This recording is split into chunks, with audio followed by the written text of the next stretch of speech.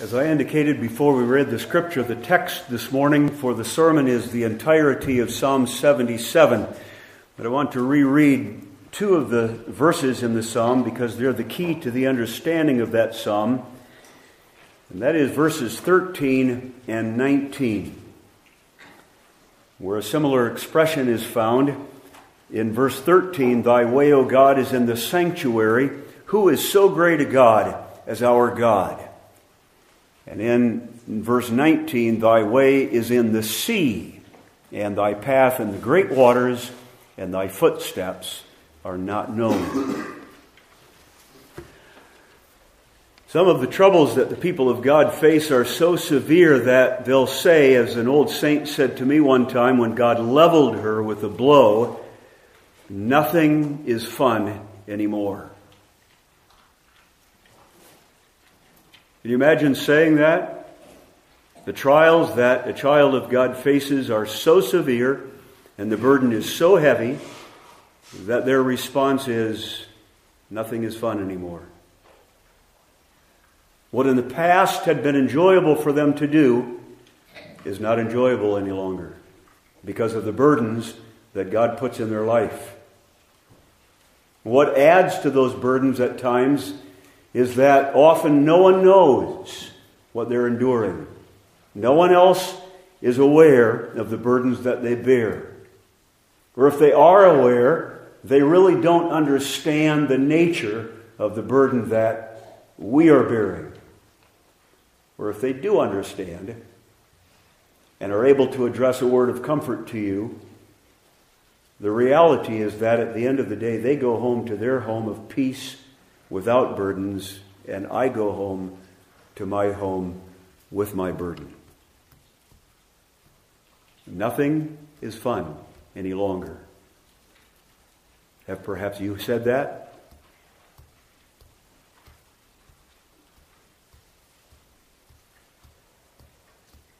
Sometimes they're so severe that the child of God just wants to sleep so that they all go away. And sometimes they're so severe, and we must be very careful with this sentiment. We would just as soon die so that all of the burdens would be gone. Nothing is fun anymore. Psalm 77 speaks to the people of God in situations like that. And Psalm 77 helps us in situations like that. Even if our burdens are not so severe that we would rather die, Psalm 77 is wise counsel for the child of God who bears burdens. And Psalm 77 is helpful in especially two respects. In the first place, Psalm 77 addresses the misunderstanding that the scripture really minimizes our sufferings. People of God are tempted to suppose that when the Word of God speaks about suffering, it makes them insignificant. And we must make our sufferings insignificant also. And that's simply not the case. And though it's true that 2 Corinthians 4 says that in comparison with the weight and the length of glory in heaven, our sufferings are light and short, the reality is that here and now, they're nothing to be described as light and certainly not brief. They're heavy. The poverty continues. The wayward daughter does not return. The pain endures unabated. That's the reality. And the Word of God addresses that too here in Psalm 77, where the child of God express, expresses such distress that he's tempted to give up. The other misunderstanding that Psalm 77 addresses is that the Word of God really is silent on the explanation of suffering. The misunderstanding is that we really ought not ask any questions about our suffering. And that's incorrect also because though Psalm 39 that we sang a moment ago has us sometimes saying, I'm going to put my hand in my mouth and I'm going to be quiet lest we offend those around us. The reality is the Word of God asks and answers many questions in connection with suffering and bearing burdens. That was a time when Asaph's perplexity was so great and his conclusions with regard to those sufferings were so wrong that when God finally took him out from under those burdens, he had to sit down and, by inspiration of the Holy Spirit, explain those experiences for all of the people of God. The Word of God does address us in these times of great distress. And that's why I want to call attention to the whole of Psalm 77. I think often Psalm 77 is misunderstood. Psalm 77 isn't understood in its unity. Psalm 77 is sometimes looked at as a puzzle. Sometimes when we come to the end of Psalm 77 and see that concluding verse, Thou leddest thy people like a flock by the hand of Moses and Aaron, we think that something's wrong. That can't be the conclusion of this great psalm that expresses such distress for the child of God. What do Moses and Aaron leading Israel have to do with the child of God today? I'm convinced that those two verses that we read before the sermon are the key to the understanding of the psalm. And that's where the theme comes from. Verse 13, Thy way, O God, is in the sanctuary. And 19, Thy way is in the sea. So my theme this morning is the sanctuary and the sea. The sanctuary and the sea. And let's notice in the first place the problems and the troubles that we face. In the second place, the truth that the child of God must embrace, and especially the truth that comes out in verses 13 and 19, the truth we embrace, and then finally, the confessions that we make. When we understand this truth, there is a confession, and there are confessions that the child of God makes. The sanctuary and the sea, the troubles we face, the truth we embrace, and the confessions that we make. Trouble, trouble, trouble. That's really one of the best descriptions of Asaph's experience as it comes out in this psalm. Trouble, trouble, trouble.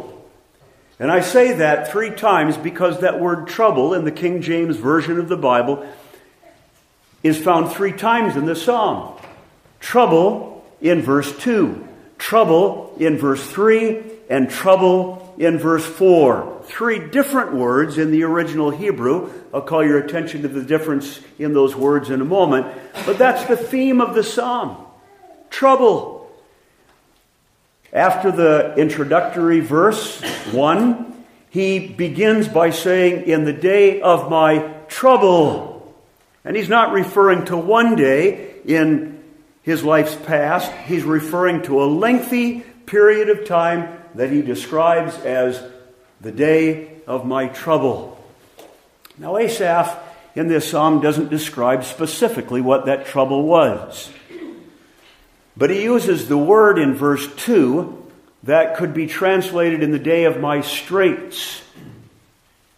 You children, in learning geography, learned that a narrow body of water that passes between two pieces of land is called a strait. The ships must avoid the rocks on the one side and the rocks on the other. That's a strait. The psalmist is saying, I experienced that God was pressing me through a very narrow place. I was being squeezed. That's his description of trouble in verse 2. But the fact that the psalmist does not say specifically what his troubles were, whether physical distresses or losses or disappointments or persecution, helps us so that we can apply this psalm to all of the children, children of God in whatever adverse circumstances you may be enduring. It doesn't matter what they are, they fit in Psalm 77. Maybe it's pain, debilitating unending pain that no medicine addresses and no pain clinic can help with. People of God endure pain like that. Maybe it's poverty, ongoing, grinding, miserable poverty. And what sometimes adds to the grief of poverty is that it appears everyone else is doing well, and I am the only one who's struggling with poverty or disappointments. I like a spouse, and the Lord doesn't lead me to a spouse. Or He's given me a spouse, but He's not given me children. All kinds of disappointments that the people of God go through. Or losses. The Lord does give a spouse and then takes that spouse away in death or divorce. Or He does give children and then the children perish. Or worse, because there's no greater joy than that our children walk in the truth. He does give us children, and they're wayward. There aren't, there isn't an end of the examples that you could provide for the people of God that would express the different experiences of God's children depression and anxiety, and sometimes paralyzing fears. That's why the Psalms say in Psalm 34 many are the afflictions of the righteous. Many. What the psalm does do for us, even though it doesn't specify what this trouble of Asaph was, is tell us how these trouble, troubles can beat down the children of God. And that's the trouble that's expressed in verse 4, a different Hebrew word than in verse 2. In verse 4, the word trouble means to be beaten, to be disturbed, to be pushed, to be thrust at, to be beaten persistently. And that's how the people of God sometimes feel that they're being battered by someone who's beating them up. And if this psalm doesn't describe what you are presently experiencing and what your circumstances are today or what you may have experienced in the past, then be put on notice today and let the psalm prepare you for what may come. You mustn't be surprised if God afflicts you with such afflictions that you cry out like Asaph did in Psalm 77.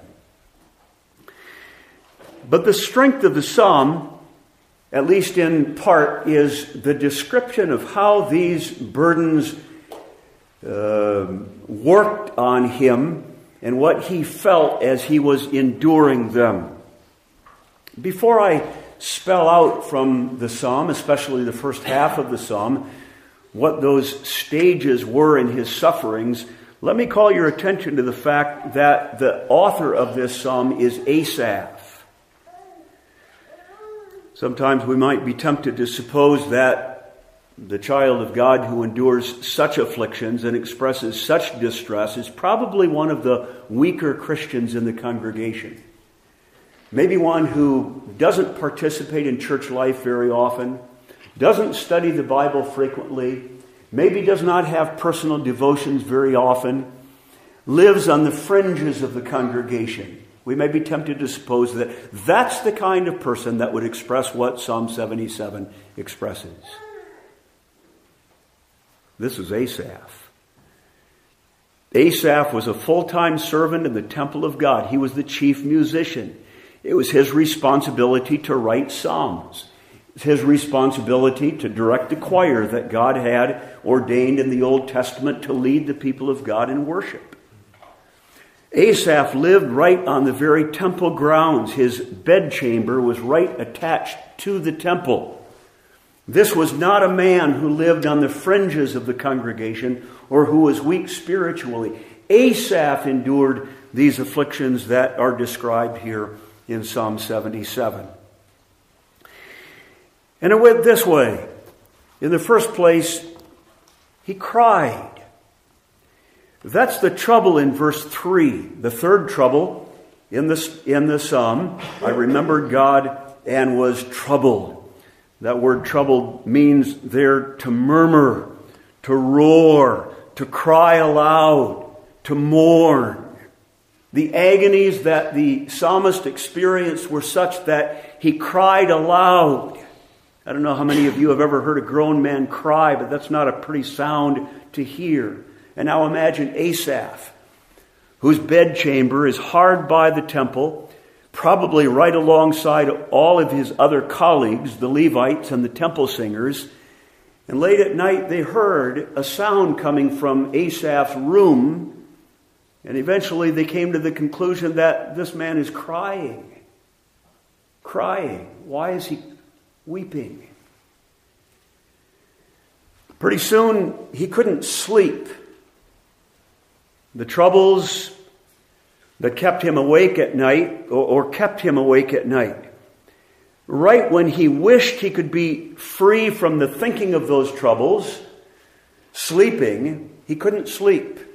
And that's why verse 4 says, Thou holdest mine eyes waking. That's another point altogether. It's God that held his eyes open so that he couldn't sleep. And let's not forget that if we're sleepless at times because of our troubles. But the daytime that occupied his mind with his business now turns to night when he can't sleep. My sore, verse 2 says, ran in the night. Then his afflictions included that he couldn't speak. That's verse 4. I'm so troubled that I cannot speak. Maybe he didn't know what to say. Maybe he knew what he wanted to say, but the words wouldn't come. And then at a certain point, he began to muse on the way things used to be. And that's verses 5 and 6, at least the beginning of 6. Verse 5 I've considered the days of old, the years of ancient times. I call to remembrance my song in the night. Probably he remembered the days that he could sleep well, the days when he could speak, the nights when he didn't weep, the times when, after a service on a Sunday morning, he was very glad to stand in the back of church speaking with the other people of God. Now he only wants to go to his car and be by himself. What's happened? What's changed? He's asking himself in the psalm.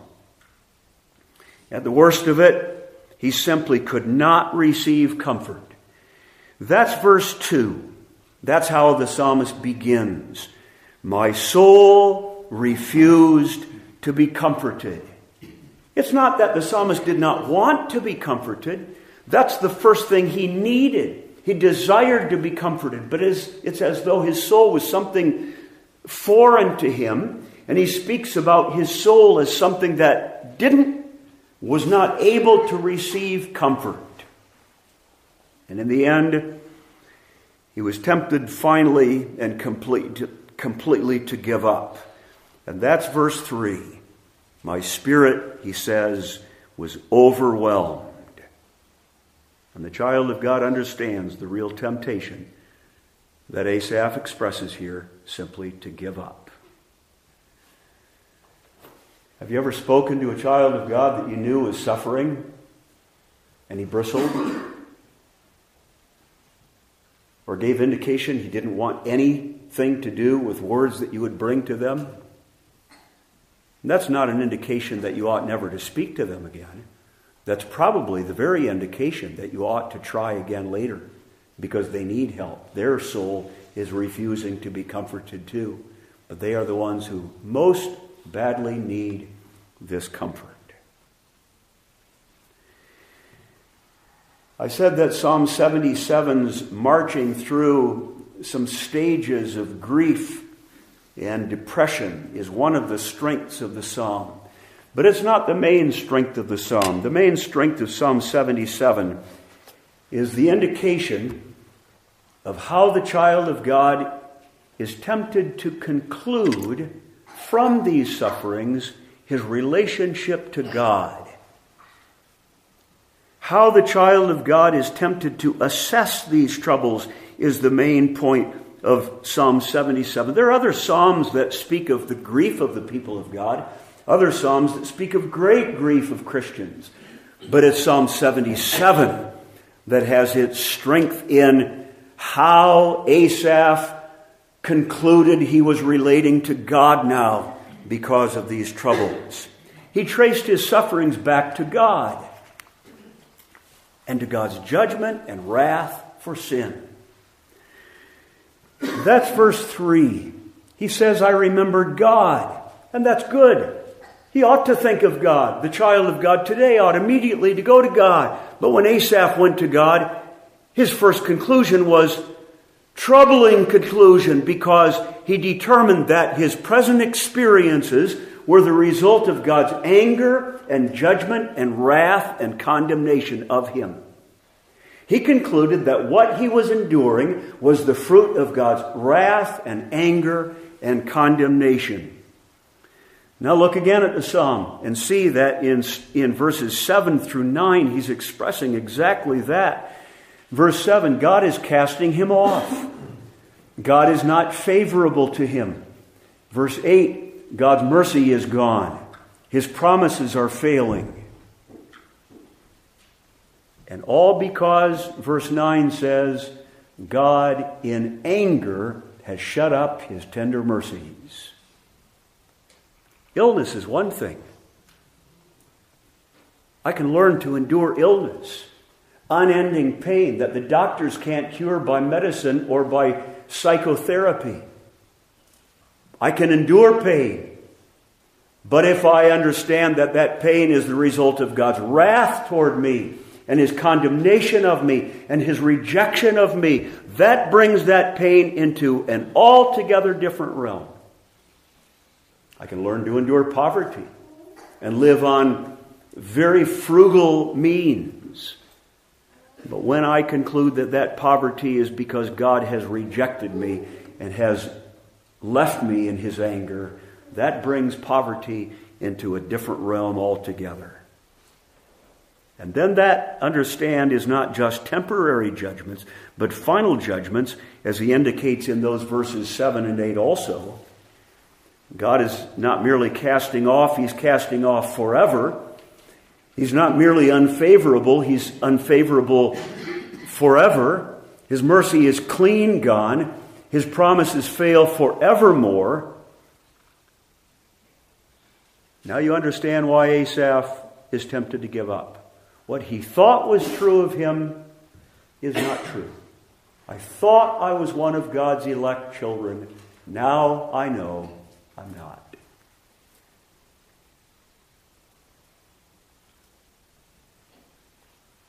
That's why I indicated earlier that the division between the negative first half of the psalm and the positive second half of the psalm is right at verse 10. 10 is the question in the authorized version that we have before us, 10 is the beginning of the solution for Asaph. We read there, and I said, This is my infirmity, but I will remember the years of the right hand of the Most High. But do you notice how many words in verse 10 are in italics? But I will remember are all added by the authorized translators because verse 10 is a very difficult verse to translate and understand.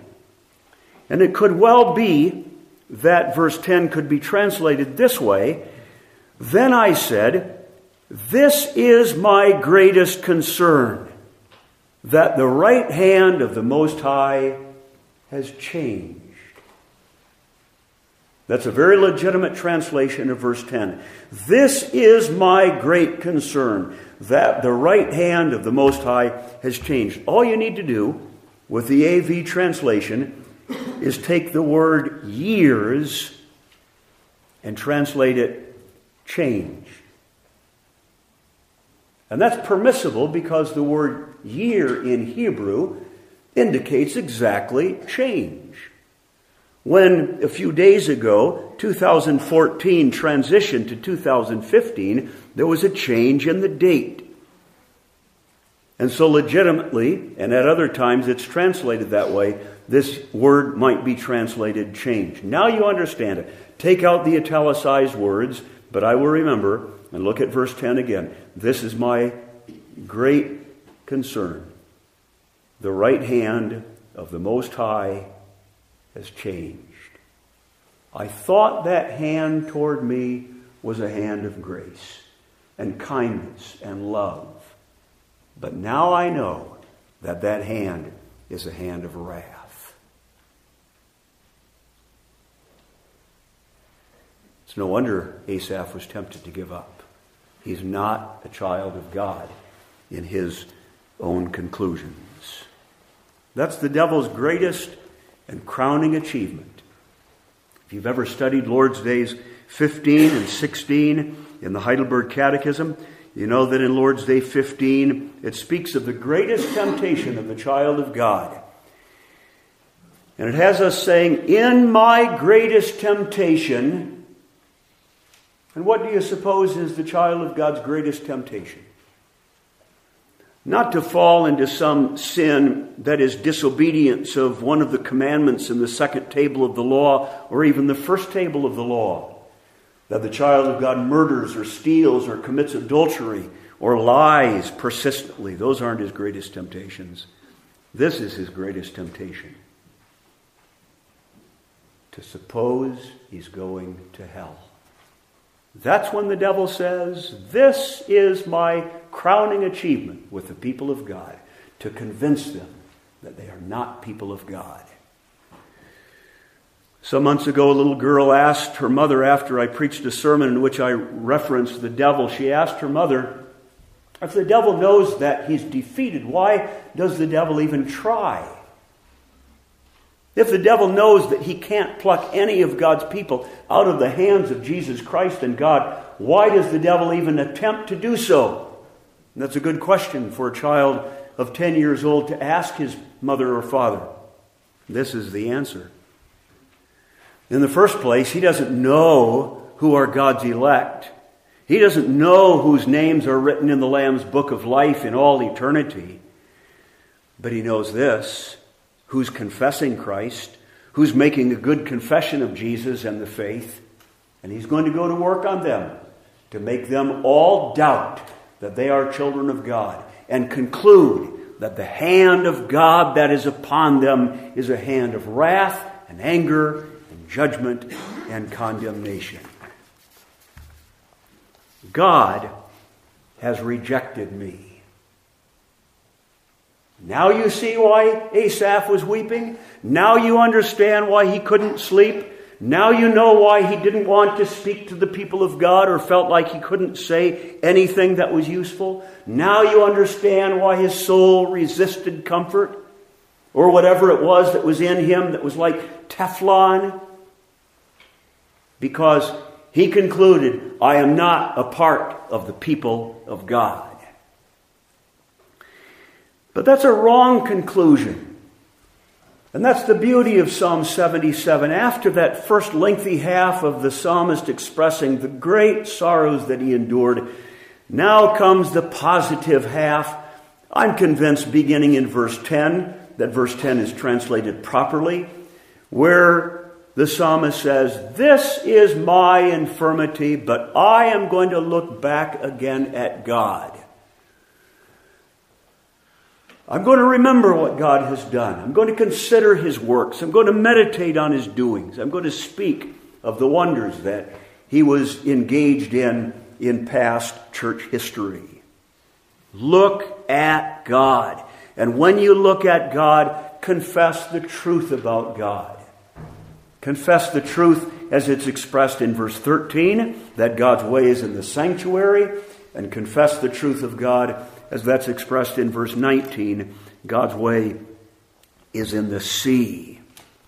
But look at God. How often, when we suffer great afflictions, don't we turn in on ourselves and talk about ourselves and focus on those pains we endure, losses we've experienced? And even if we aren't the kind of member who afterwards no one wants to talk to because he's only talking about himself, even if we aren't that kind of member. Isn't it often the case that we're always thinking about ourselves, losses, pains, poverty, disappointments? The Word of God says the solution in our troubles is to turn away from ourselves and look at God. That's when Asaph's healing began. Read verses 11 now and following. Asaph says at the end of verse 10, I'm going to remember the years of God's right hand. 11, I'll remember his works. I will remember his wonders. And verse 12, I will meditate also upon uh, thy work and talk of God's doings. What were the works and doings and wonders that God performed that helped Asaph see that God was not rejecting him, but was in fact treating him as a child of God is always treated. Well, first of all, Asaph remembers the works of God in the sanctuary. That's why verse 13 precedes 19 in the psalm, because the sanctuary always goes before the sea. The sanctuary always comes before the sea. What's the reference there? The way of God is in the sanctuary.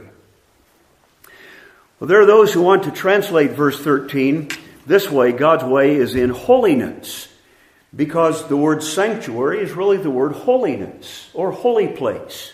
This building, beautiful building, very thankful you have your own building now, you call a sanctuary. Why?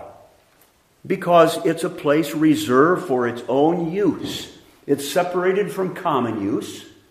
You children don't play football in here, do you? I see the pews are bolted down. Of course, you don't play football in this building. You don't play floor hockey in this building. You don't play anything in this building because this building is reserved for worship. It's a sanctuary, that is, a holy place.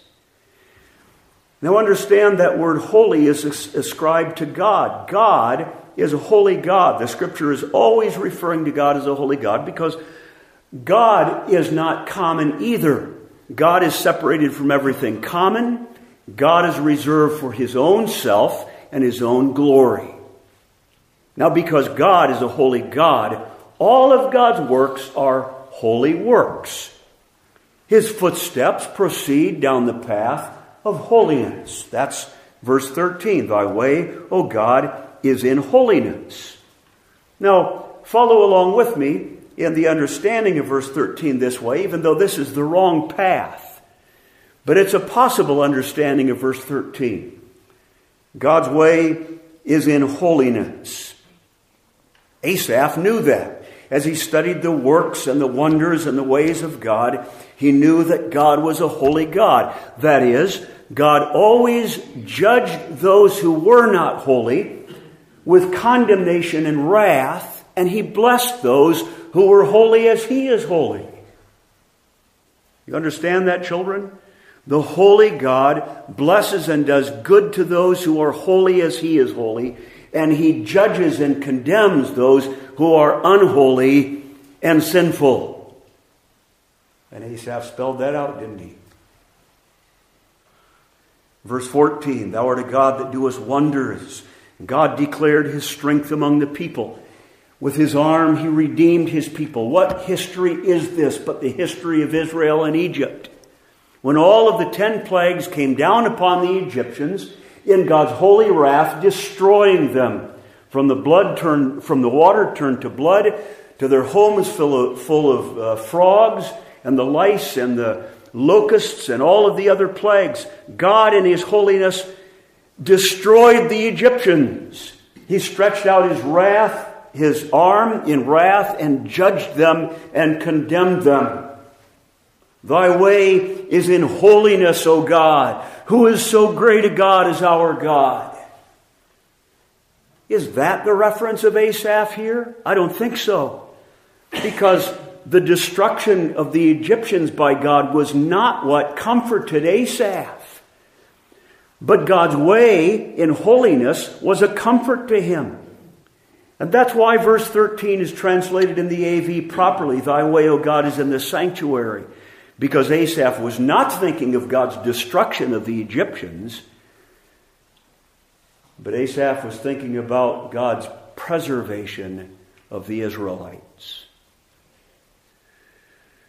You children remember, remember when Israel was in Egypt and God said, Get in your homes and paint the blood of a lamb on the doorpost of your home and hunker down in that home in safety and the angel of my wrath will pass over your homes and not destroy you, even though it's going to destroy the Egyptians. You can imagine the children asking their parents, What's going on, Dad? What's happening? They heard the cries of the Egyptians, especially with that last plague. All of the firstborn were being killed by the angel of death. And here were the Israelites safe in their homes. What's going on, Dad? And dad and mom explained to the children God provided for us a substitute. God's wrath was poured out upon our sins, but instead of upon us, upon the substitute that God provided, instead of us. And that's what made Asaph say, There is no God so great as our God. He redeemed us. The wrath of God that I deserve for all my sins the judgment of God that ought to drive me away and send me to hell everlastingly didn't come upon me, but came upon his own son who came as a substitute for me. Now put yourself back in Asaph's place and remember where this man of God worked. Right on the temple grounds where he saw every day that sacrifice of a substitute for the people of God. And Asaph couldn't help but say, Thy way, O God, is in the sanctuary. And he remembered all the way back in Israel's history to the time of the Passover, where Israel was safe because God's wrath was poured out upon his son, his son, instead of upon them. It was not God's wrath, this hand, that was afflicting him. It was not God's judgment and condemnation, this pain he was enduring, this strait through which he was passing that he felt was going to destroy him. It was not God's wrath, it was something else. Something else. The Passover lamb is the redemption of the people of God, the sons of Jacob and Joseph. There in the sanctuary, Asaph learned what that suffering was not. We're going to see in a moment what that suffering was, but he learned the, in the first place what that suffering was not. It was not the wrath of God upon him because the wrath of God was poured out upon his son. That's his first stop after the first half of the psalm, in which he expresses all of his distress and all of the results of that distress, he starts by saying, Thy way, O God, is in the sanctuary. And there's no God who is so great a God as our God, who instead of judging us, judged his Son. What I'm experiencing is not the wrath of God against me in which I'm paying for my sin.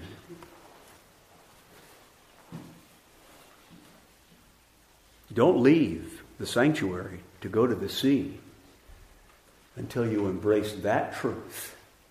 That truth. Come to the cross today. See Jesus there, who endured himself the wrath of God against the sins of all of God's people. Who is so great a God as our God? Don't leave the sanctuary until you understand that. And when you do, then you may go to the sea and understand what that suffering is. We know what it isn't. What is it? That's why Asaph says at the very end of the psalm, Thy way is in the sea, thy path in the great waters, and thy footsteps are not known. Now you understand what history this is. Now this is post Egypt. This is leaving the land of bondage. This is being brought to the deliverance of and the salvation of the land of Canaan. Remember that history? It's all there in the end of Psalm 77. Verse 16, the waters saw thee, O God, the waters saw thee. What waters? Well, the waters of the Red Sea.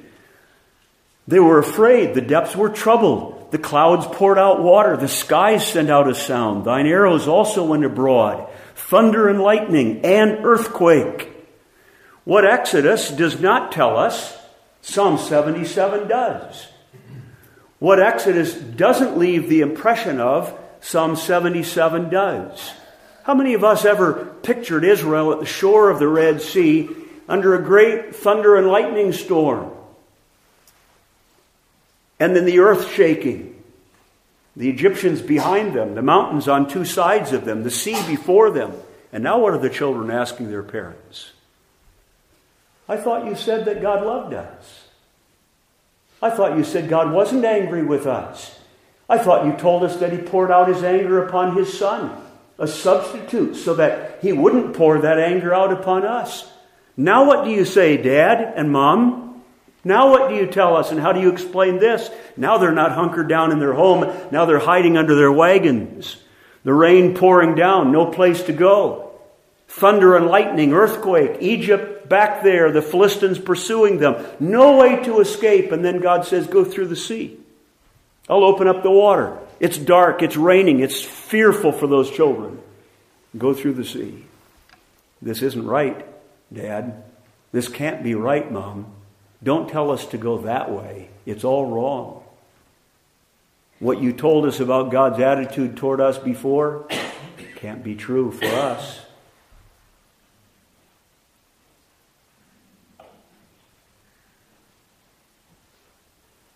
And then Moses and Aaron went down first, down the bank into that ocean, the Red Sea. Held up their hands to the Israelites, the first one in line, and said, Come, follow us. We're going to lead you through the sea. Perhaps some of the Israelites balked and said, This isn't the way to Canaan. That's the way to Canaan. Canaan is north. We're going south. Don't take us this direction. And Moses and Aaron held out their hands and said, Come, follow us. We're going to take you to safety. The people of God said, We don't understand. These footsteps aren't known. Why in the sea? And now Asaph, hundreds of years later, looks back on that history and says that history is a template for the people of God, even today, in his day. And that history that was a template for the people of God in the days of Asaph is a pattern for the history of the people of God today, too. And that pattern makes me say, I don't understand. I don't know why. And maybe for now, I can't. But this I do know, though it appears to be wrong, God is leading me. And I do know this that whatever I feel and whatever my circumstances may be, I am not by them going to conclude that God in this is rejecting me. What I feel and what I see and what I experience are not to lead me to conclude that God does not love me.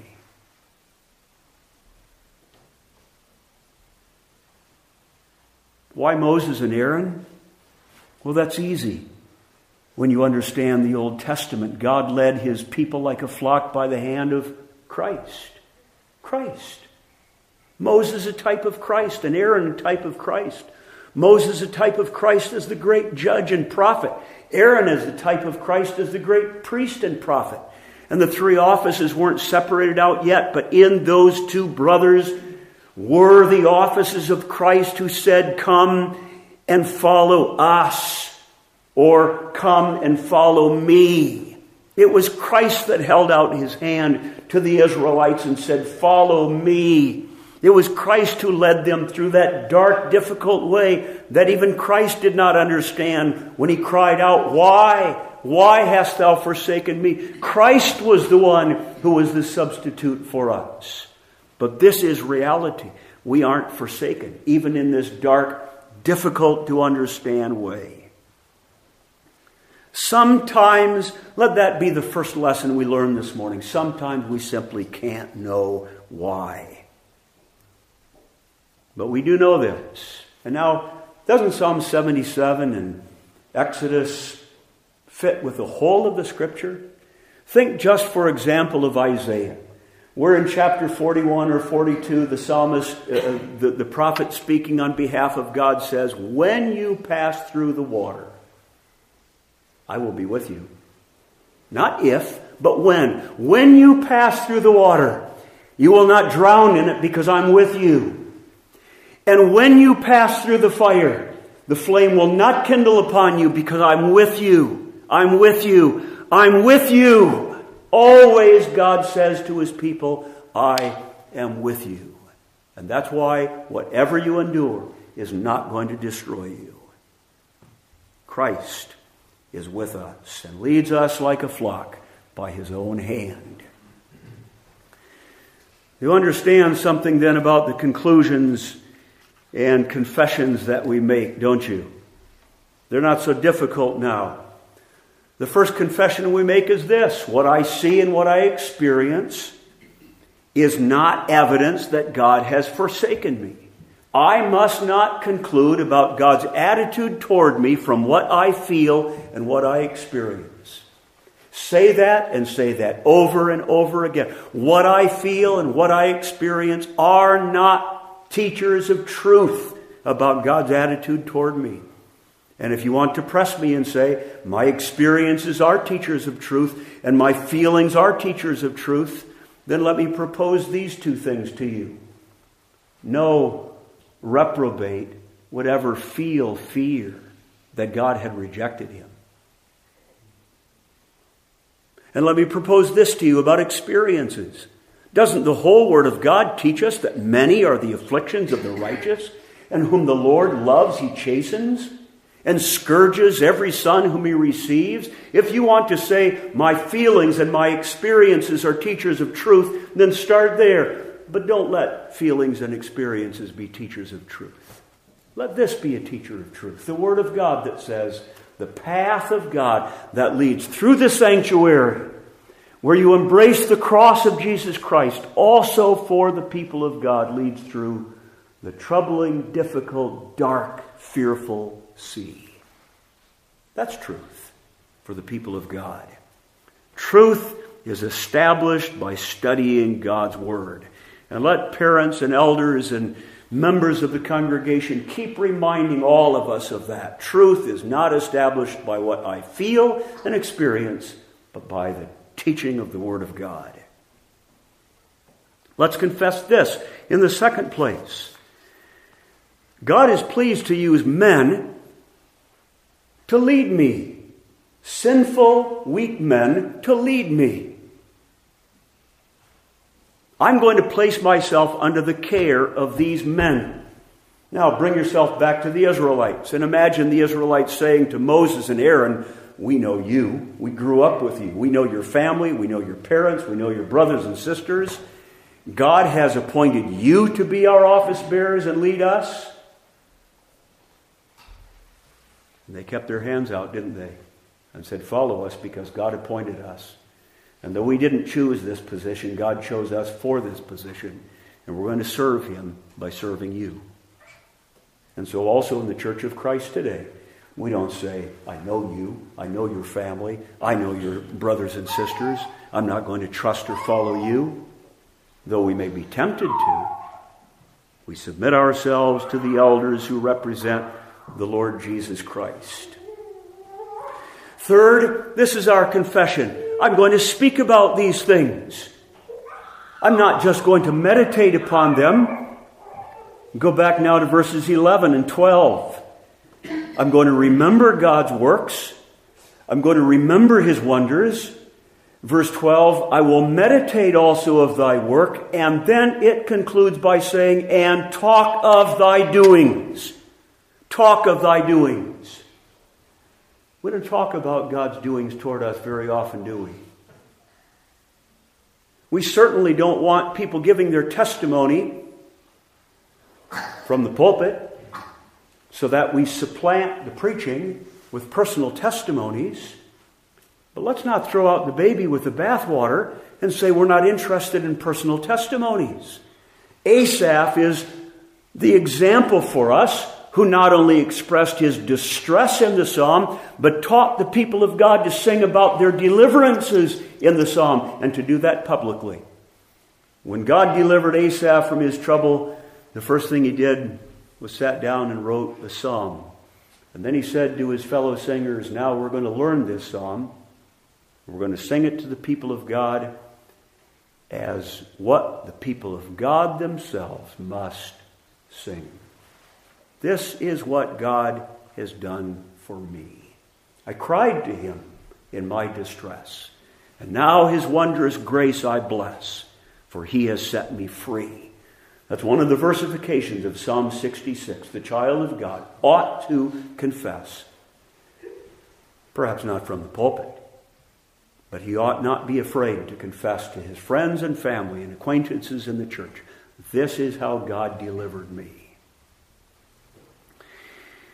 But fourth, our confession, people of God, and the most important part of our confession is this that even God's way in the sea stands in the service of God's way in the sanctuary.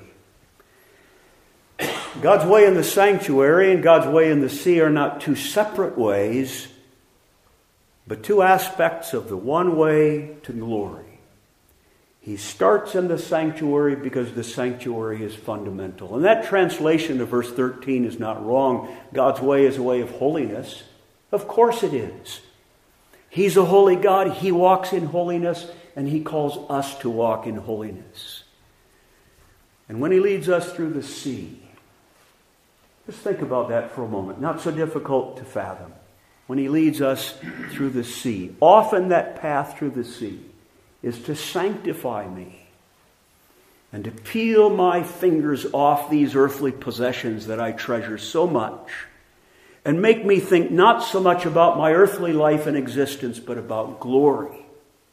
Until finally, that way through the sea leads me to the Jordan. When that distressing, difficult, hard to fathom way is death. Death. And he brings me into his presence. And now I'm perfect. And I say into all eternity, with the saints, and to the saints, Who is so great a God as our God? Amen. Let's pray. Our Father which art in heaven, thy word is truth. Sanctify us by that word. Make us a people devoted to thee. Make us a people who love thee and hate sin. And grant that that word that was preached this morning by the power of thy Spirit may be a justifying and a sanctifying and even a glorifying power, so that we more and more may show ourselves to be thy people who love thee and love each other. Pardon, O God, our sins and deliver us from evil. We pray this in Jesus' name and for his sake. Amen.